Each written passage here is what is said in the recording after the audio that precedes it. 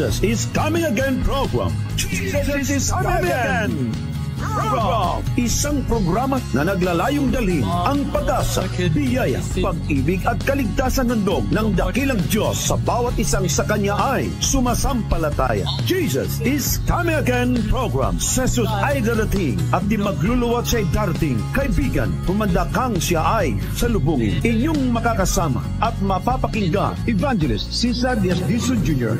sa ating Jesus is Coming Again program. Magandang magandang umaga, tanghali, hapon o gabi sa lahat ng ating pong mga kapatid at mga kaibigan na kung saan po ngayon ay sumusubaybay sa ating pong lumalaganap na programa sa ating pong Jesus is Coming Again Ministry.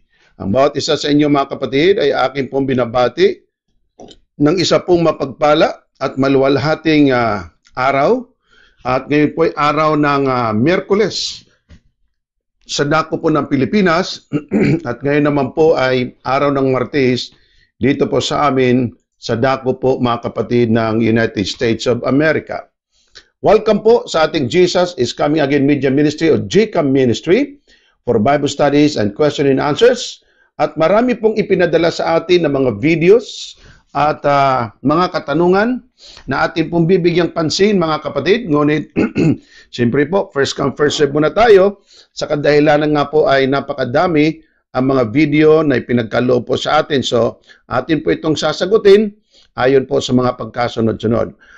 Tayo muna po ay manalangin. Ama, salamat po sa pagkakataon na inyo pong pinagkalob sa amin na kami po'y makapag-aral ng inyong mga dakilang salita. Sa inyo po kami humihiling at dumadalangin na inyo pong patnubayan at pagpalain ang bawat isa sa amin, Panginoon na mabigyan kami ng karunungan, kaunawaan sa aming pag-aaral ng inyong mga dakilang salita. Salamat po sa lahat ng ito sa pangalan ng aming Panginoong Jesus. Amen. Amen. Atin pong puntahan mga kapatid, ang ating pong topic na isa pa itong wala talaga sa Biblia, ang kanyang itinuturo. Bakit? Sabi po ng isa pong pare sa kanyang pagmimisa na si Father Reverend Darwin Gitgano, na ang sabi niya mga kapatid, kinuha niya ito galing sa katisismo ha. Ito mga kapatid ang sinabi niya. Roman Catholic priest said, ikatlong utos ng katisismo, ipangilin ang seventh day, ipangilin ang kapitong araw, Sunday, araw na banal para sa Diyos. Mahal ko mga kapatid, yan po ang kanyang sinabi at papakita ko po sa inyo yan. Sabi ko naman dito, ibubutyag ang buong katotohanan, katotohanan, abangan. Ayon po sa binasa niyang katisismo, ito po ang sinabi, mahal ko mga kapatid. Ito po yung uh, katisismo, no? O, nasaan na ba yung katisismo ko? Ito. Ito yung kanyang binasa, mga kapatid, na katisismo. Then maya-maya, babasahin din po natin ang kanya pong binasa. At ay ipapakita ko po sa inyo, mga kapatid. Ito po yung nilagay doon sa katisismo. Tandaan mong ipangili ng araw ng Sabat. Okay? Anim na araw, kang gagawa at isa katuparan ng iyong mga gawain. Ngunit kapitong araw ay araw ng pamamahingang nakatalaga sa Panginoon mong Diyos, huwag kang gagawa ng anuman. So ang kanilang kinot na bersikulo, Exodo Kapitulo 28 hanggang talatang 10, Deuteronomy 5.12 hanggang talatang 15. Mga kapatid, ang tinuro po dito ay hindi linggo. Ang sinabi po dito sabat na ikapitong araw. Ang linggo ay hindi po ikapitong araw. Unang araw yan. Kaya ang pari, may bali siya. Ang bali niyang kanyang ginawa sa kanya pong mga pananalita ay tayo nga naman daw kasing mga katoliko, lunis kung unang magtrabaho. Kita mo ha, tayo naman kasi, oh, rason na lang nila yon. Tayo naman kasi ay lunis kung unang magtrabaho. Kaya lunes daw, lunes, martes, merkulis, wibis, bernes, sabado, linggo. Kaya ikapito pa rin ang linggo. Ganon ba ang turo sa iyo ng Biblia? na mag-umpisa kang magbilang sa ikalawang araw kasi yun ang araw na unang araw ikay nagtrabaho? Mga kapatid, yan po ang malaking problema. Sa bandang ibaba, nilagay ko po dito, the priest said, kahit Sunday, first day of the week, siya mismo ang nagsabi ng Sunday, first day of the week. Pero Monday naman, tayo umpisang magtrabaho, Sunday pa rin ang araw na banal. Aking nilagyan, tama ba? Ngayon pa lang, sagutin ko na mali. Atin pong i-play mga kapatid ang kanyang video at nang makita po ninyo kung ano po ang kanya pong sinasabi dito. Okay? So, atin pong ah, tingnan mga kapatid ang kanya pong video. Alright. Nandito po ang video. Sana'y marinig ninyo at mapanood nyo ng maayos. At ito naman yata ay mga isang minuto lang naman. Ito po sa wikang Cebuano, pero mga kapatid, i-translate po natin sa wikang Tagalog. Kasi ito pong pare ay Cebuano po to. At siya naman po ay nananagalog paminsan-minsan sa iba po niyang mga programa. Pero atin pong tingnan kung ano pong sinabi diyan at kayo po mga Cebuano na mga nakikinig po ngayon, kayo nakaunawa ng lubos, pwede ba kayong mag ano, yung bang mag-comment kayo tungkol do sa sinabi ng pare kung tama ba ang mga pinagsasabi ng pare base sa Biblia. Okay? Kapitong adlaw na to, bisag unang adlaw na, sugod man tagtrabaho, lunes, ikatulong ko, hinumduman mo ang adlaw nga ipapahulay aron sa pagbalaan ini, muna mo Sabi niya, ikatlo, ik, ikatulo nga sugo, ikatlong utos. Alalahan mo ang araw ng Sabat upang ito'y pakabanalin. Tuloy natin. simbata. Kada Domingo. Kaya dapat magsimba tayo kada, ibig sabihin, bawat linggo. Musimbit ang buong nga buhaton na to, musimba kita sa Ginoo. Dito sa iyang simbahan. Sa panahon mo, apil kitag santos nga misa. Sabi niya, ang ating gagawin, sasambahin natin ang Diyos at tayo pupunta sa simbahan, sasambahin natin siya at tayo ay sasali sa banal na mesa. O sa kapito ka adlaw, mao ang balain nga panagtigom At ang ikapitong araw ay siyang banal na pagtitipon alang sa Ginoo nga imong Dios. sa Panginoon mong Diyos, para sa Panginoon mong Diyos. Tingnan niyo mga kapatid kung ano po ang binali niya ang kanyang binasa mismo. Pakinggan po niyong maigi. So, ikapitong adlaw na to, bisag unang adlaw na, sugod man tagtrabaho, lunes, So, sabi niya, itong linggo, kahit unang araw yan ng San Linggo, pero nagtatrabaho naman tayo umpisa sa araw ng lunes, sabi niya, lunes daw, ito mga kapatid. kapito na tong adlaw ang Domingo. Kaya ang ikapitong araw daw ay araw ng linggo. Ating pakinggan ang kabuuan. Kinahanglan mo pahuway ta na, malandong ta sa pulong sa Ginoo, ampo ta, way pugat yung mga trabaho during Sunday. Kay adlaw na nga balaan. Adlaw na nga ipapahulay. Ako, So ano daw? Ang linggo, ayon daw sa pinag-uutos ng Diyos, ikatlo, na ang linggo ay araw na banal. Kung ang pare ay nakikinig ngayon sa video ito, pwede ba, Padre, pakipadalahan mo ako ng bersikulo sa Biblia na ang linggo ay araw na banal. At saka araw ng kapahingahan. Okay? Sana naman, nakikinig kayo, ito po sa bandang gilid mga kapatid, ito yung katisismong kanyang binasa. Gusto ko lang po ma-correct ang bagay ito kasi hindi naman tayo nanunulig sa, kundi ito po pinadala sa atin ng video at hiningian po tayo mga kapatid ng reaksyon sa video pong ito. Well, atin pong bibigyan ng reaksyon. Isa-isahin po natin to ang mga punto para po magiging mas malinaw. Na ngayon, ito po ay galing sa kanya at narinig naman ninyo at ano po bang sabi at masasabi ng Biblia. Tuloy natin. Kung amigo, sugo, hinumduman mo ang adlaw nga ipapahulay aron sa pagbalaan ini, muna musimba ta. Kada Domingo. Musimbit ang mga buhato na to, musimba kita sa Ginoo dito sa iyang simbahan. Sa panahon mo, apil kitag santos nga misa.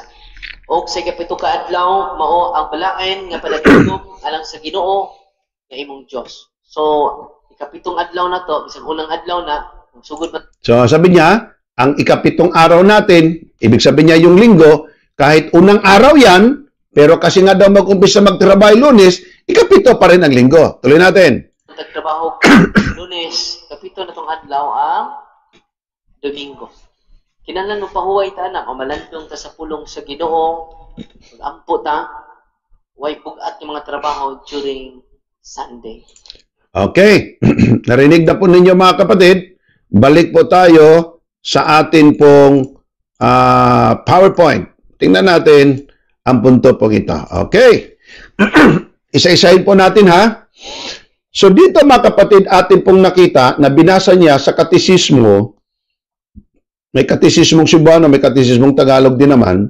So ang sabi dito, tanda, tandaan mong ipangili ng araw ng Sabat. So ang Sabat para sa kanya, linggo. Pero baliktad. Bakit? Sabi kasi ng katisismo nila mismo, anim na araw kang gagawa at isa katuparan ang iyong mga gawain, ngunit sa ikapitong araw. Eh siya rin nagsabi na kahit ang linggo hindi daw ikapitong araw, pero lunes nga daw kasi nag-umpisa silang magtrabaho, kay ikapito pa rin linggo. Mga kapatid, hindi sinabi ng Biblia kung saan ka mamili ng araw na unang itrabaho mo, magbilang ka nun ba? Mamili ka ng lunes, hindi, lunes, martes, merkulis, suwis, bernes, sabado, linggo, ang ikapitong araw. Kung mag-umpisa ka ng Martes, di Lunes naman ikapitong araw mo. Kung mag-umpisa ka ngayon ng Merkulis, ang ikapitong araw mo Martes. Sinabi ba ng Panginoong Diyos na bahala na kayo mamili kung anong araw kayo mag-umpisa magtrabaho at ang ikapito kung saan man papatak ang inyong ginusto, ayun na ang matutupad, hindi na yung sa Diyos. Mga kapatid, yan po ang isang malaking kamalian sa napakarami pong mga tao sa ating panahon kasi ang sinusundan tradisyon. Ang atin pong itinuturo dito, yung katotohanan ng sinabi ng Biblia. Pakinggan niyo po, binasa ng pare, the priest re- read, Ikatlong utos, alalahanin mo ang araw ng Sabat upang ipangingin. Kaya sisimba tayo bawat araw ng linggo. Ang mga Romano Katoliko, mga kapatid, ay meron po silang Ten Commandments at ito po ay nakasulat sa harap mismo ng kanilang simbahan. May malalaki po, mga kapatid, na Ten Commandments na para may mga bitak-bitak na para din tinamaan ng kidlat. Ito ang inyong mababasa doon sa kanilang Ten Commandments. Ito, mangilin ka tuwing linggo at pistang pangilin. Ang tanong ko po sa inyo, Mr. Pare, ay ganito po. Saan mabasa itong sampung utos ninyo sa Biblia na nagsasabing mangilin ka tuwing linggo at pistang pangilin? Wala kang mababasang ganyan sa Biblia, mababasa lang yan sa tradisyon ng Iglesia Katolika na wala sa Biblia. Ang mga membro po ng Iglesia Katolika Romana na nakikinig po ngayon, buksan po natin ang ating mga puso at kasipan. Huwag po kayong kumampi kahit alam naman ninyong mali, dapat magbago at dapat magsisi. Bakit? Sapagkat hindi ang pare ang magliligtas sa inyo. Pwede pa nga kayong mapahamak yan eh. Tulad nito, ang itinuturo mali-mali naman. Sinabi po sa kanilang sampung utos, kanilang sampung utos to ha, kaya nga po ako nananawagan sa lahat ng pari, sa lahat ng madre, sa lahat ng mga bishop, mga cardinals, kahit pa po Santo Papa, o kahit sino pa mga Catholic Fintipinter, tulungan po ninyo ako. Saan ba sa Biblia mababasa yung sampung utos ninyo? Anong aklat? Anong ka, kapitulo, anong bersikulo o anong mga bersikulo mabasa itong salitang mangilin ka tuwing linggo at pistang pangilin. Anong bersikulo yan mababasa? okay? Sana po clear sa inyo yan. Now, sinabi ng pare ang dahilan kung bakit daw linggo sila nangingilin. Ito ang dahilan ng pare.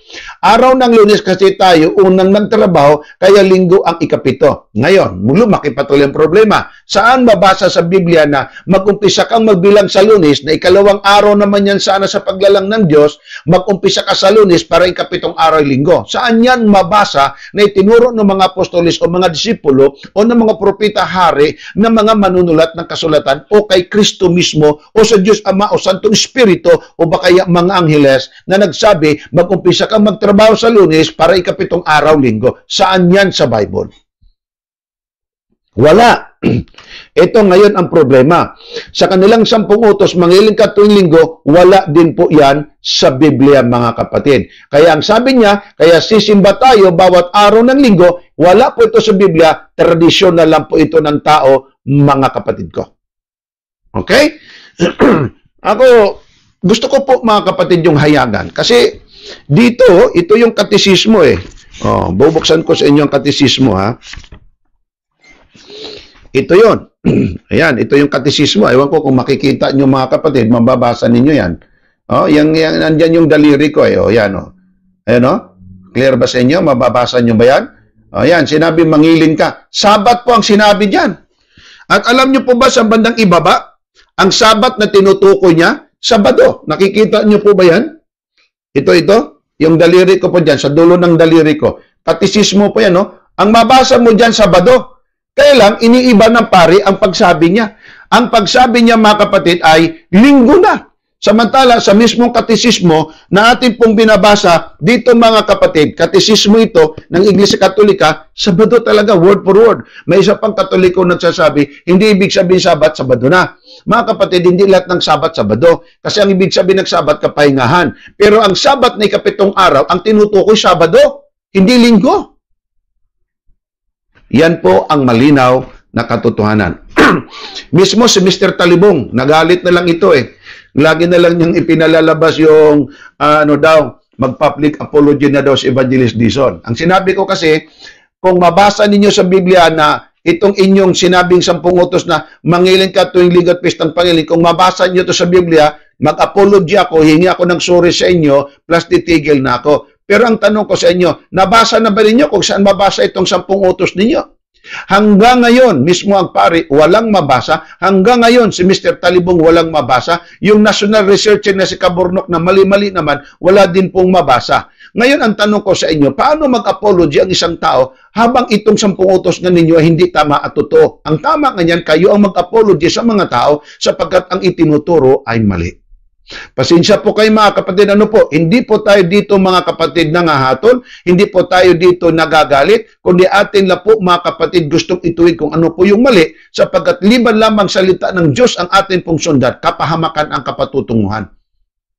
Ito pa po, yan ang sinabi ko sa inyo. Pagpasok pala nyo sa simbahan, may Ten Commandments na sila. At sa Ten Commandments nilang ikatlo, ito nga, oh, mangilin ka tuwing linggo at mga pistang pangilin. Isipin nyo, Ben, mangilin ka tuwing linggo, anong bersikulo sa Biblia yan? Hindi lang po itong Ten Commandments na inyo pong mabasahan ng ganitong klaseng mga sampung utos nila, kundi kahit pa nga po makapatid sa Batangas, nung ako'y pumunta, may nakita akong sampung utos na ganito, ito po ikatlo, medyo natabo na lang nitong uh, bakod nila, pero makita at mabasa. Mangilin ka kung linggo at pistang pangilin. Saang bersikuluan niya? Ngayon, sa mga kapatid natin na mga Batanggenyo, diyan po sa Batangas, ako po may tanong sa inyo, saan bagaan niya mabasa ang pagkasabi na ikaw ay mangilin tuwing linggo at pistang pangilin? Abay, wala ho tayong mabasa gayaan. Bakit po? Sapagkat una, wala sa Biblia, ikalawa, tradisyon lang po ng Isya Katolika yan. Ngayon, ang katanungan po, ano po bang susundin natin? Tradisyon at utos gawa ng tao o ang sa Diyos? Ito na po yung panahon na dapat po mabuksan ang puso't isipan ng maraming tao. Ito po mga kapatid, isang Ten Commandments pag nakita ko sa iba na namang parokya to.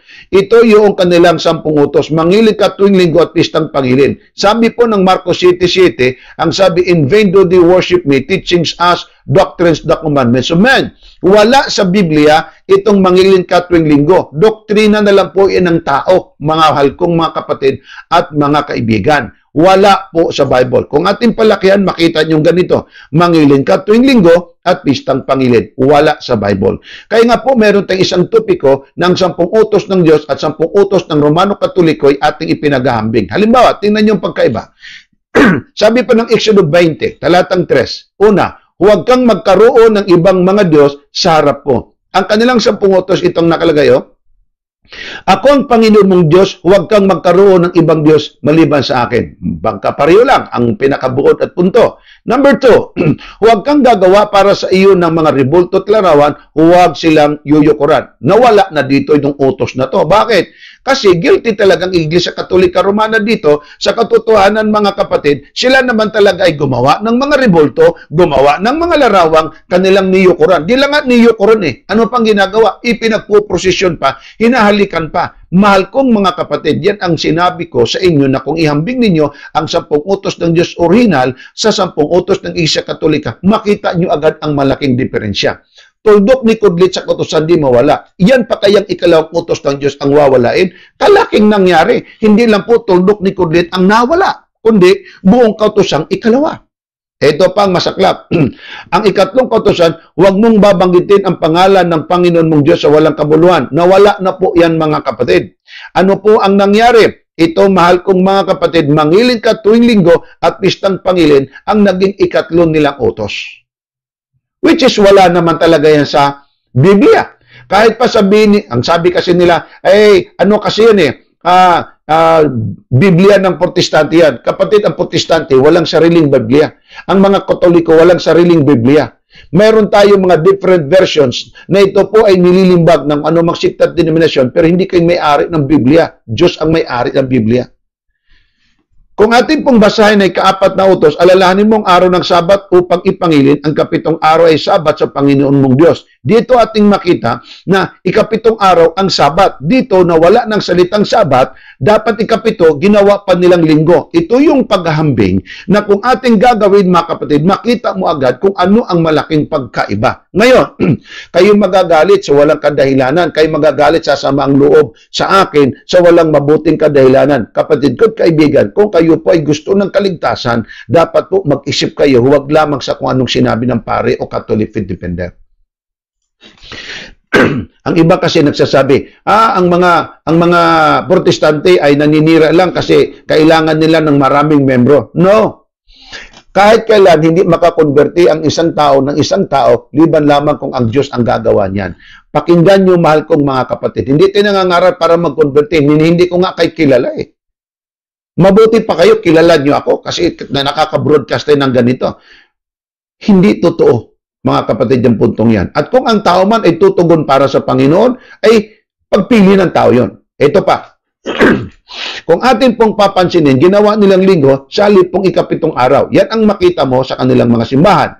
Yan ang paghahambing. Ngayon, merong dalawang Sabbats dito mga kapatid na kung inyo pong papansinin, dalawang Sabbats in the Christian world. Sunday Sabbath nila at saka Sabbath day Sabbath. Na ang tanong ko sa inyo, ilang araw ba ginawa ng Diyos ang langit at ang lupa? Alam niyo yan, anim na araw. At pagdating sa kapitong araw, ang Diyos ay nagpahinga sapagkat kumplito na ang kanyang paglalang. Ngayon, ang sa Iglesia Katolika ay first Sunday. Hindi ka pa nga nagtrabaho, nagpahinga na?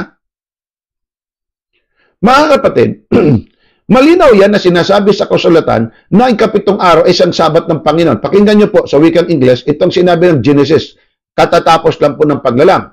And so the whole universe was completed. Verse 2, by the seventh day. Hindi po first day. Ang Sunday kasi one, no? First day ang Sunday. By the seventh day, God finished what He had been doing and stopped working. Kasi tapos na ang kanyang pagtrabaho, nagtumigil na siya at nagpahinga na. Verse 3, He blessed the seventh day and set apart, set it apart as a special day. So ang seventh day, ang special day. Ang katwiran kasi ng pare, ang Monday naman daw kasi ang unang araw ng pagtrabaho nila, kaya magbilang ka sa Monday, Tuesday, Wednesday, Thursday, Friday, Saturday, bumalik tuloy sa Sunday. Sa halip na dinaanan mo na yon, bumalik tuloy kasi ang gusto nila Sunday ang kanila. Kasi by tradition. Yang sabi naman niya, ng pare, eh siyempre, Monday tayo unang magtrabaho, kay kapitong araw pa linggo. Para bang grade 2, grade 3, grade 4, grade 5, grade 6, grade 7, balik grade 1. Hindi po tama yon kapatid. Now, ang sinabi ng Diyos, seven day, hindi niya po sinabi, Monday ka mag-umpisa. Kaya nang sabi niya, unay, kaloy, katoy, kapat, kalima, ikaanil, magtrabaho ka pang pito, pahinga. Very logical yon. Ngayon, ang sabat po mga kapatid, kung inyo pong titingnan ayon sa sinabi ng pare, ikatlong utos alalahanin mo ang araw ng sabat upang ipangilid, wala sa Biblia ito, pero nasa tradisyon ng Iglesia Katolika. Ngayon, kung kayo gustong mabuhay doon sa tradisyon at wala sa Biblia, at ang Biblia ayaw ninyong tanggapin kasi ayaw ninyong mamulat kung ano ang katotohanan, abay hindi ko pagpiliin nyo yan. Sabi ng pare, ikatlong utos, alalaan mong araw ng sabat upang ipangilid. Ay pangilang araw ang sabat? Mismang katisismo, atin pong binasa, ikapitong araw ang sabat. Ito, pang 7, Saturday. Hindi Sunday. Ang Biblia ay malinaw nagsabi sa atin, nilalang ng Diyos, unay, kaloy, katoy, kapat, kalimay, kaanim, ang langit at ang lupa at ang pampito'y araw na kung saan siya nagpahinga, pinaging banal, at ang araw pag ito'y kanyang binasbasan. Ang ikapitong araw, hindi po unang araw, kapatid. Sana po naging malinaw sa inyo yan. Yan po ang sinabi ng Biblia. Na, balik tayo. Nagkaroon po tayo ng paghahambing na pag-aaral, malaking pagkakaiba ang tunay at huwad. Totoo po yan. Sa Romano Katoliko, ang Ten Commandments nila, ito pong nandito po sa bandang kaliwa ko at kanan po sa inyo. At ang sa Diyos naman, ang Ten Commandments na sulat kamay mismo ng Diyos. Alin ang inyo pong sundin? Ang tradisyong sampung utos na wala sa Biblia, wala at hindi pinag-utos ng Diyos? O dito tayo sa kautosang ipinag-uutos ng Diyos? Mamili po ang tao. Ang akin dito mga kapatid, kung ano lang po ang katotohanan at mga kaibigan, yan lang po ang aking inilathala sa inyo. Nagkaroon po kasi ng batas at akin na po itong pinaliwanag ng marami at maraming beses mga kapatid. Meron pong dalawang batas na nangyari. Ano pat ang pangyayari ay nilukupan at na nilukuban po ang buong uh, sanglibutan. Halimbawa, merong civil law or civil decree at saka religious decree. Ang civil decree is ang emperador ng buong mundo ng Roma, mahal ko makapatid, si Constantino noong Marso 7, uh, 321, kanya pong ipinag-utos ang katulad ng ganito ay ating mabasa. Sa gagalang-galang na araw ng araw, hayaang mamahinga ang mga pinuno ng batas at mga taong nanirahan sa mga lungsod at ipasara ang lahat ng mga pagawaan. Yan po ang decree ni Constantino. Ayon po mga kapatid sa ating mabasa sa Encyclopedia Wikipedia, ito po ang sinabi, Emperor Constantine. It was Emperor Constantine who decreed that Christians should no longer keep the Sabbath and kept only to Sunday, the later part of the first day of the week, calling it Venerable Day of the Sun. So anong ating mabasa? I-type lang po ninyo mga kapatid. Emperor Constantine who changed Sabbath to Sunday. Dito, ang iyong mababasa na ang pagsamba ng mga Kristiyano ay Sabat, sabi niya, itigil nyo na yan at ang kanila pong pamamahinga, linggo na. Kaya ang unang nagbigay mga kapatid ng pag-change ng Sabbath to Sunday sa isa pong secular, sa isang civil na batas ay si Constantino. Pero ang tanong, ano naman ang papel ng Iglesia Katolika? Ito talagang ginawa. Ang kabanalan ng araw ng Sabado, inilipat sa araw ng Linggo. Ang Linggo, mga kapatid, o ang kabanalan ng araw ng Sabado, inilipat sa araw ng Linggo. Ang Linggo na ngayon ang tinawag nilang Lord's Day. Araw ng Panginoong Diyos, Araw na banal tulad nung sinabi ng pare na hindi mo mabasa sa Biblia. Isa pa sa katuwiran kanilang ikinakatuwiran kasi nga daw si Kristo nabuhay sa araw ng linggo. Isa na naman dito, kailan sinabi ng mga alagad, ng mga disipulo, mga apostolis o ni Kristo mismo, ng Diyos Ama Espiritu Santo o ng anghel man o kung sino't anumang talata ng Biblia na pagka ang Kristo ay mabuhay sa araw ng linggo, palitan na ninyo ang utos ng Diyos. Walang ganon. Walang ganon, mahal kong mga kapatid ko at mga kaibigan. so, sino po ang nag-change ng kapahingahan, uh, ang pagsamba? Dapat sana mga kapatid araw ng Sabat. Pero ang sabi niya, Emperor Constantine who decreed that Christians, Christians ha, ang totoong Christians mga kapatid ay nangingili ng Sabat. Hindi katulad ng sinabi ng pare, pagtutok ang Kristiyano, linggo. Hindi. Pagtutok ang Christian, sabat. Kaya lang, may isang Kristiyano din naman. Ano klase Kristiyano? Linggo kung mangilin. Anong sinabi ni Constantino? Pakinggan niyo uli ha. Constantino decreed that Christians should no longer keep the Sabbath. So ano na pinag-utos? Oy, wag na kayong mangilin pa at magpahinga sa araw ng Sabat. Ano na lamang? Sunday. Only to Sunday. Bakit Sunday ang kanyang gusto? Kasi si Constantino sumasamba sa araw. Kaya nga ang tawag niya sa first of the week, calling it Venerable Day of the Sun. Araw ng araw. Venerable Day of the Sun. Ngayon, Ano naman ang religious decree? Pakinggan niyo mapatid ang religious declaration. Mabasa ito sa Convert Catechisms of the Catholic Doctrine, question and answer pa itong mga kapatid. Which is the Sabbath day? A. Answer. Saturday is the Sabbath day. Yan ang mabasa mo dito, mga kapatid, mismo rin sa katisismo, sa katisism. Ito, dito. Sabat ang mabasa mo. Totoo naman talaga, Sabado eh. Ang mabasa po ninyo dito, mga kapatid, ipakita ko sa inyo po ulit. Ito. okay? Sabado naman talaga ang inyong mababasa. Nakita niyo yung dulo ng daliri ko? Ayan. Sabado talaga ang mababasa mo diyan. Ito pong sinabi dito, babasahin ko ha. Ha, sa ikatlong utos ng Dikalugo ay inihayag na ang kabanalan ng Sabado. Ang ikapitong araw ay araw na ganap na pamahingang nakatalaga sa Panginoon. Ginawa ng kasulatan na ang kautosang ito ay maging alaala ng paglala sa loob ng anim na araw, ginawa ng Panginoon ang langit at ang lupa, ang dagat at lahat ng naroon, at sa ikapito, nagpahinga. Ito, nagpahinga. Pinagpala ng Panginoon ang araw ng Sabado at pinaging banal niya. Yan ang nakalagay. Pero anong nangyari? na Saturday naman pala. Nangyari at ituloy. Why do we observe Sunday instead of Sabbath? Answer, because the Catholic Church, excuse me, transferred the solemnity from Saturday to Sunday. Yung salitang transferred kapatid, wala yung authority galing sa Diyos. Gawa-gawa lang po nila yan at wala sa Biblia. Ito pa, sun worship. Paano po nagiging instrumento ang Romano Katoliko ang pagsamba sa araw ng linggo? Pakinggan niyo mapatid. Galing din po naman to sa Encyclopedia Wikipedia at mabasa sa Encyclopedia Britannica. Pakinggan niyo po. Sunday was the day set aside in the Metra. Sino ito si Metra? Ito yung Diyos ng mga paganong Romano. Called as each official day to assemble together to worship its Sunday. So, ang mga Romano na nung araw, sumasamba na sa Diyos na araw nila. Constantine worship Christosilios. Si Constantino mismo ay sumasamba sa Diyos na araw. Ano ibig sabihin ng Christosilios? Which means Christ, the true Son. The Roman Catholic Church, ito na, Romano Katoliko kung saan ang pari, sakop dito. The Roman Catholic Church venerates, anong venerates ibig sabihin? Worship. Venerates, worship the Son, Sunday, as its Sabbath even today. So bakit ang Romano Katoliko sumasamba mga kapatid?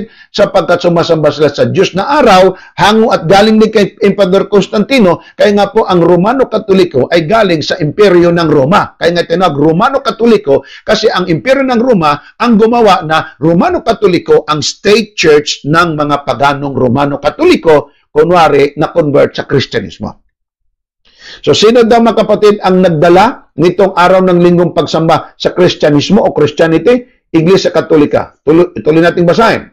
The Roman Catholic Church venerates Sunday as its Sabbath even today. That's true. And has handed it down Christianity. Hanggang ngayon, no? February 17, 2018, ito mga kapatid na update. Tuloy. ito yung mabasa ninyo dito sa katisismo. Ito yon kung inyong mapansin mga kapatid, ito yung ikatlong utos na binasa ng pare. Okay? Ito yung ikatlong utos na binasa ng pare. Tandaan mong ipangili ng araw ng Sabat, anim na araw kang gagawa at isa katuparan ng iyong mga gawain. Ngunit, sa ikapitong araw ay araw na pamahingang nakatalaga sa Panginoong Diyos, huwag kang gagawa ng anuman. Kaya lang, kanya na pong hirit doon ay, kaya nga, lunes naman tayo nag-umpisa magtrabaho, kay kapitong araw natin, linggo. Pero wala kang mabasang linggo dyan. Galing mismo sa katisismo. Ito, daliri ko pa itong nandito mga kapatid. Na ngayon, inyo po yung mabasa, atin pong palakihan mga kapatid. Yan ha? Number one, araw ng Sabat. Tingnan ninyo. Sa ikatlong utos ng Dikalugo ay nihayag ang kabanalan ng Sabado ang ikapitong araw ay araw na ganap na pahingang nakatalaga sa Panginoon. Sabado naman talaga. Ginawa ng kasulatan na ang kautosang ito ay maging alaala ng paglalang sa loob ng anim na araw na ginawa ng Panginoon ang langit at ang lupa. Ang dagat at lahat ng naroon at sa ikapitong nagpahinga, pinagpala ng Panginoon ang araw ng Sabado at ipinaging banal niya. Hindi po linggo. Katisismo nyo mismo ay atin pong matungay at mabasa kung ano ang katotohanan. Kaya lang, nasa katisismo, eh bakit ang katoliko linggo? Ito ang dahilan. Okay? Pansinin niyo na, Sabado, Sabado yan. Ano ang nangyari mga kapatid sa Sabado naman sana ang inilagay sa katisismo? Kung ating pansinin, sinabi yan na Sabado, itong ikalawa, sinabi din Sabado ang araw ng pahinga at araw ng pananambahan. Pero ang tanong malaki ay bakit naging linggo? Ito mga kapatid, pagbubuod. Nakita niyo itong pagbubuod? Okay. Ang sinabi dito, um, papalaki pa natin to. Ayan. Ang sinabi po sa pagbubod, ipangilin mo ang araw ng Sabat upang pabanalin mo ito. Ang ikapitong araw ay magiging ganap na pamamahinga nakalaan sa Panginoon. Anong ginawa nila? Ito, ang sabat na siyang naglalarawan ng rurok ng unang paglalang ay pinalitan ng linggo. Tanong ko sa inyo, kailan inutos ng Diyos ng linggo ang siyang kahalip o pampalit sa araw ng Sabado? Wala pong ganon, mga kaibigan. Minamahal. Ang pinag-uusapan po natin dito, hindi house and lot, hindi bahay, hindi lupa, hindi trabaho, hindi pagkain. Kaligtasan mo ang ating pinag-uusapan dito. Kung atin pong pansinin, sabat ang itinuro mismo ng katisismo. Kailang ang malaking problema, pinalitan ng linggo. Ang dahilan, kasi si Kristo ay nabuhay sa araw ng linggo, ano pat kanilang pinalitan? Tanong, kailan niya sinabi ni Kristo, palitan yung utos ko pagka ako'y nabuhay sa araw ng linggo? Walang ganon. Bakit? Ang utos ng Diyos eternal hindi nagbabago. Mga kapatid ko, ito ngayon, ikalawang sinabi ng pare, the priest the priest said, kaya sambahin natin ang Diyos sa araw ng linggo. Bakit daw? Ito ang araw na ikapito, araw na banal. Kahit kayo magbilang sa inyong kalendaryo, hindi naman talaga linggo ikapitong araw. Unang araw ang linggo. Rason nila, ay kung pumunta tayo sa opisina, di ba lunes? Di ba kung mag-aral kayo, di ba lunes? O kaya, lunes, martes, merkulis, lunes, bebe, sabado, linggo, ikapito. Bakit sinabi ba ng Panginoon, pagka mag-opisina ka, mag-umpisa ka na doon magtraba, magbilang? At kung ikay mag-aral ng grade 1, grade 2 hanggang kung ano man yan, umpisahan ka magbilang ng lunes, ikapitong araw mo linggo? No! Ang linggo, mga kapatid, mahal kong kaibigan, choice na lang po ng tao yan. Yung pagtrabaho ng lunes, choice na lang po yan. Tulad limbawa, iba po ang pagpili sa dako po ng kamusliman sa kalagitnaan mga kapatid ng, ng uh, silangan. Okay? Ang kanila pong kapahingaan doon ay Sabado at saka Biyernes. Sa Pilipinas naman ay Linggo at saka Sabado. Sa Amerika, Linggo din naman at saka Sabado. Kaya pagpili po ng tao yan. Pero ang tanong, kaninong pagpili ang dapat po mamutawi at masunod? Sa tao ba o sa Diyos? Siyempre, hindi tao, ang, ang tao hindi Diyos. Kaya ang dapat masunod, ang Diyos. Pero kung inyo pong pansinin mga kapatid, ang kanila pong pagsamba ay ginawang araw ng linggo kasi daw yun ikapito. Ito'y malaking mali. Sa mathematics pa lang, bagsak na ito, wala sa tamang lohika. Ito mga kapatid ang mabasa natin sa Latina Vulgata. Meron akong Biblia ganito. Ang Latina Vulgata ang ating mabasa mga kapatid, Sabado talaga. Ito, Exodo 20 talatang 8. Alalahanin mo ang araw ng Sabado upang ipangilin. Sabado talaga. At yan din po ang nakalagay mga kapatid dito po sa katisismo. Meron ako nitong Latina Vulgata. Exodo 20 talata 9, anim na araw naggagawa ka at iyong gagawin ang lahat ng iyong gawain. 20, ngunit ang araw na Sabado ay Sabat sa Panginoon mong Diyos, sa araw na yan ay huwag kang gagawa. 20, sa 20 talatang 11, sapagkat sa anim na araw ay ginawa ng Panginoon ang langit at lupa at nagpahinga sa kapitong araw na anopat pinagpala ng Panginoon ang araw ng Sabado at pinakabanal. Catholic Bible na po yan. Mabasa din po sa Catholic Bible Doi Version o Latina Vulgata. Kung nakikinig man ngayon si Pastor Goyo, okay? Pastor, di ba meron ka ding Bibliang Latina Vulgata? Pwede bang uh, picturean mo yung Latina Vulgata mo, i-send mo rin dito sa akin? May Latina Vulgata mga kapatid na Tagalog, meron din pong Cebuano. Okay? Ako meron akong Tagalog, meron din po akong Cebuano. Kaya kung atin pong babasahin ang Biblia, mga kapatid, ang linaw ng pagkasabi nito, hindi mapasubalian ng tao. Pwede kang mga tuwiran, pero hindi mo pwedeng baguhin yung araw ng Sabadong iyong mabasa. Ito pa. Ang ikatlong utos, mga kapatid, na tandaan mong ipangilin ng araw ng Sabado, pinalitan nila ng linggo na hindi naman mabasa diyan ang linggo. Okay? Ang mabasa mo diyan kamo, ito, Sabado. Dito sa ibaba, Sabado rin. Ang mababasa natin, hindi po araw ng linggo. Sabi nga dito, ah, kaya ginawa lang nilang ikatlo dito eh. Ang ikatlong utos ng Dikalugo, pag sinabing Dikalugo, Deka means 10. Okay? Dikalugo. Ibig sabihin, Sabado kapatid, ang ikapito. Okay? Now, pinalitan nila ang araw ng linggo just to make a little review. Ang ginawa nila sa araw ng Sabado, ito, ang Sabat na siyang naglalarawan ng rurok ng unang paglalang ay pinalitan ng linggo. Anong dahilan? Tuloy natin. Na nagpalaala sa bagong paglalang sa simulan, sinimulan ng muling pagkabuhay. Ito nga, malaking tanong dito eh. Saan mabasa sa Biblia na palitan mo na ang araw ng Sabado ng linggo kasi panimulaing buhay yan kasi si Kristo na buhay sa araw ng linggo anong araw o anong bersikulo mabasa sa Biblia yan. Walang ganon. Ito pa, sinabi po ng pare, sambahin natin ang Diyos sa kanyang simbahan. Sasali tayo sa banal na mesa. Sasamba tayo sa araw ng linggo dahil ito ang araw na banal. Wala yan sa Bible. Ito ang may tanong ko sa pare. Saan sa Biblia mabasa yung Ten Commandments ng Katolikong mangiling ka tuwing araw ng linggo at pistong pangilin? Anong aklat anong kapitulo, anong bersikulo o anong mga bersikulo kasi gusto kong malaman. Okay? gusto kong malaman kung gaano katotoo. Kasi liban lang mabasa mo sa Biblia, ang salita ng Diyos dapat ang siyang mamutawi, abay lahat ng yan ay hindi po pwede mga kapatid sabi mong sa Diyos, eh hindi naman sa Diyos. Ito, tuloy natin. Faith of our Father, sabi po ni Cardinal James Gibbons, isang katolikong kardinal. You may read the Bible from Genesis to Revelation and you will not find a single line authorizing the sanctification of Sunday. Wala kang mabasa. Basahin mong Genesis to Revelation, wala kang mabasa, which is true. Cardinal na mismo ang nagsabi. Ito pa, The scriptures enforce, ibig sabihin ipinag-uutos ng scripture, the religious observance of Saturday, hindi Sunday. Ito mga kapatid, awit at kasaysayan o salaysay ng pasyong mahal na kung basahin ng sino man ay sukat ni pag-alab ng pusong mambabasa. Ito po ang pagkasabi. Ah, page 5 to ng pasyon ha. At sa inisis na libro na lalaman ay ganito, nang lalangin itong mundo nitong Diyos na totoo kaarawan ng Domingo. So ano daw unang araw nag-umpisa ang Diyos maglalang? Domingo. Tinutuot sinihasat ng Santa Iglesia ang dilag o sinihasat ng Iglesia Katolika ang sa Hineses na sulat, ani ay pawang tapat at Diyos ang nagpayag, Diyos ang may sabi.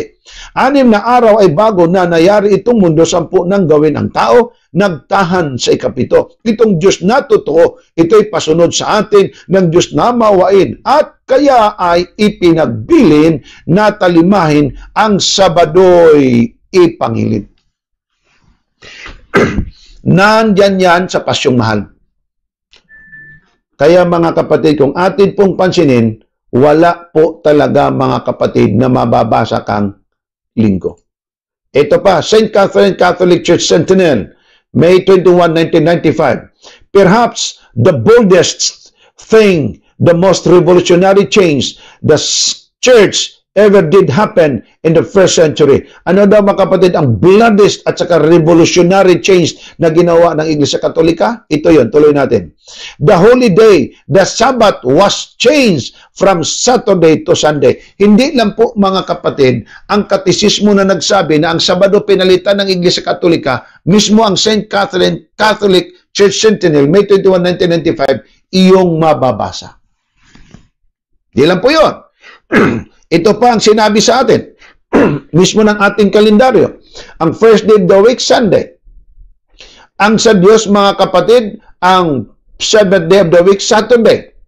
Sabi po, pagdating natin sa bagong langit at bagong lupa, ang pagsamba natin doon ay araw pa rin po ng Sabat. New Heavens, New Earth. Verse 23.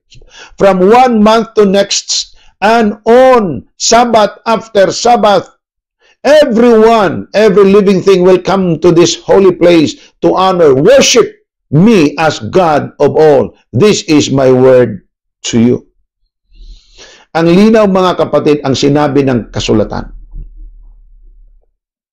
From Sabbath to Sabbath, sasamba tayo sa Panginoon. Eh, paano mo magawang Sabbath? Eh, pinalitan muna ng linggo. Kaya yung sabi nila na ang Sabat wala na, pinalitan ng linggo, gusto kong malaman yan, anong versikulo yan sa Biblia. Kasi ang mabasa sa Biblia, seventh day of the week, mga kapatid. Bakit? Kasi una, ikalawa, ikatlo, ikapat, kalima, ikanim, ang Diyos ay gumawa ng langit at ang lupa at papitong araw, tapos ng kanyang paglalang, ang ginawa na lamang niya ito pong araw na ikapito, sinabi niyang alalahanin mo ang araw ng Sabat upang ipangilin. Sino may sabi? Diyos. Sino nag-utos? Diyos. Sino nagsulat diyan ng sampung utos? Diyos. Sino nag-utos ng araw ng Sabat dapat ipangilin? Diyos. Sino nagsabi na dapat alalahanin? Diyos. Saan mabasa sa Biblia alalahanin mong araw ng linggo upang ipangilin at mga pistang banal? Wala yan sa Bible. Ito pa. Mula yan sa creation. May mga sabat na mga naalis sa Biblia, kapatid, tulad ng Oseas 2.11, Isaiah 1.13, Lamentaciones 4.5 at 6, na ito po'y pinalimot ng Panginoon kasi maraming klaseng sabat. Ikapitong araw, sa ikasam, eh, ikapitong taon, ay sabat para sa lupa, sa ikasampung araw sa kapitong buwan, bawat taon ay pamingang sabat para sa mga Udyo, at sa 50 years, 49, 7, 49 years, pang 50 years, jubilyo, kapahingang sabat para sa mga lipin. Yun ay mga tinatawag na ceremonial sabbaths, mga seremonyas ng mga sabat na idinagdag na lamang pagkatapos ng angkay ng kasala. Pero yung sabat ng Panginoong isinulat niya sa sampung utos, creation sabat ang tawag niyan. Bakit creation sabat? Kasi pitong araw ginawa ng Diyos ang langit at ang lupa. At sa pangpito, kasama ang sabat sa creation. Chapter 1 pa lang po yun, at saka chapter 2. Ang tao nagkasala, chapter 3 na lang. Hindi pa nagkasala ang tao, nandyan na po yung ikapitong araw na tinawag na sabat, araw na kapahinga ang ipinagpahinga ng Panginoon o itinigil ng Diyos sa paggawa sa madlang paglikha at paggawa niya ayon sa kasulatan. Wala ang linggo. Sabi po ng Galatia 3, God's promise to save through faith. And God wrote this promise down and signed it. Could not be concealed or changed when God gave the Ten Commandments. Ano daw ang Ten Commandments ng Diyos? Cannot be concealed or changed. Isa na dito sa sampung utos ang araw ng Sabat. Balikan natin. Sabi po ng Catholic priests, Roman Catholic priest said, ikatlong utos ng katisismo, ipangilin ang seventh day. A seventh day Sunday ang tinutukoy niya. Araw na banal para sa Diyos. Walang katotohanan po yon. So ang sabi ng pare, kahit daw ang linggo ay unang araw naman talaga ng isang linggo, pero ang kanya pong pihit, eh, lunes naman kasi tayo mag-unang magtrabaho, kaya okay na rin kapitong araw linggo. Sino may utos sa'yo niyan? Ni minsan hindi Diyos ang nagsabi. The priest said, kahit Sunday, first day of the week, pero Monday naman tayo umpisang magtrabaho, Sunday pa rin ang araw na banal. Tama po ba? Ang sagot, mali. Anong tama? Yung nakatula, nakatala sa Biblia. Ang nakasulat sa Biblia. Hindi yung kung anong utos at sinabi lang ng tao. Mga kapatid ko at mga kaibigan, kayo pong nanonood po ngayon, malina po ba sa inyo ang ating pong pag-aaral po ngayon? Kung mangyari mga kapatid, kayo po ay magmensahe sa atin po dito at mag-comment po kayo, purihin ng Panginoon at maliwanag ang kanyang salita at ang kanyang salita na inyo pong napakinggan na bless po kayo. Na bless po ba kayo mga kapatid? Say amen. Praise the Lord. Purihin ng Panginoon. Ang Diyos po ang magpala sa inyo, sa akin, sa ating lahat. So, akin pong basahin mga kapatid ang mga ilan ditong komentaryo tulad po ni Bonnie Manaog. Mark 2.27, The Sabbath was made for man and not man for the Sabbath. Okay? Limuel Fernando, Psalm 35 and 6, Every word of God is pure. He is a shield unto them that pure their, put their trust in Him, and not unto His word. Words. Ano? Least is He reprove thee, and thou be found a liar. That's true. Okay. So mga kapatid, mag-comment po kayo, magpadala po kayo ng mensahe natin sa ating pong programang ito at ako po ay naniniwala by God's grace ay pagpapalain po tayo ng Panginoon. As long tayo po ay magpatuloy kung anong tama, hindi po yung utos ng tao, tradisyon ng tao, kundi ayon sa sinabi at inutos ng dakilang Diyos. So ang kautosan ng Diyos cannot be concealed, cannot be changed when God gave the Ten Commandments. When God gave the Ten Commandments, yung ibinigay niya, naibigay na niya. Hindi na po niya pwedeng ikansila at hindi po pwedeng mabago sapagkat Diyos ang nagsabi, Diyos po ang dapat masunod. Yan po ang ating Jesus is Coming Again Media Ministry. Sinagot po natin ang video na pinadala po sa atin at ang Diyos na ng langit ang magpala sa inyo sa akin sa ating lahat sa patuloy po nating sama-samang pag-aaral dito po sa salita ng Panginoon. Tayo po'y mananalangin. Ama, Salamat po sa inyong dakilang mga salita. Purihin po kayo magpakailan-kailanman sapagkat kayo ang Diyos at Panginoon ng aming mga hiram na buhay. Pagpalain po ang bawat isang nanonood, mga mananaliksik ng katotohanan, pagpalain at tulungan na bawat isa, Panginoon, ay magiging masinop pagdating sa pag-alam, pagtukoy, pagsuri ng mga katotohanan na magdadala sa amin sa sigurado o tiyak na kaligtasan. Purihin po ang inyong pangalan magpakilan-kailanman sapagat ang lahat ng ito ay aming lubos na pinasasalamatan sa pangalan ng aming Panginoong Jesus. Amen. Amen. Maraming salamat mga mga kapatid at mga kaibigan sa inyo pong patuloy na pagsubaybay sa ating pong Jesus is Coming in Media Ministry. Ako po inyong kapatid kay Cristo Evangelist Cesar Diaz Dizon Jr. ay nagpapasalamat sa inyo pong patuloy na panunood sa ating pong Jesus is Coming Again Media Ministry. Marami pong salamat at ang Diyos nawa ng langit ang magpala po sa ating lahat. At sa muli po, kung kayo merong katanungan, magpadala po kayo. Huwag niyong kalimutan, sundan po natin ang ating pong YouTube, Watch, Watch Party, share, subscribe, at ang ating pong programa ay magpapatuloy sang-ayon din po sa inyong suporta sa biyaya at pagpapala ng Panginoon. Marami pong salamat. God bless us all. Inyong napakinggan ang Jesus is Coming Again program. Jesus is Coming Again program. At muli pa po ninyong mapapakinggan Evangelist Cesar Diaz Dizon Jr. Jesus is Coming Again program.